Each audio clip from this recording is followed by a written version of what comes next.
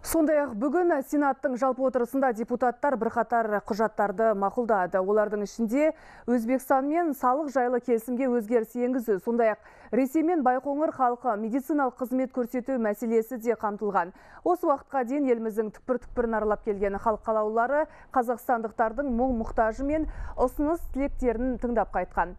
Сенат төрағасы Қасым Жомарт Тоқаевтың айтуынша жоғарғы палата халықтың әлеуметтік ахуалын түзеу, құқық қорғау саласын жаңғырту елбасы атап көрсеткен маңызды міндеттерді орындау бағытында жұмыс істейтін болады.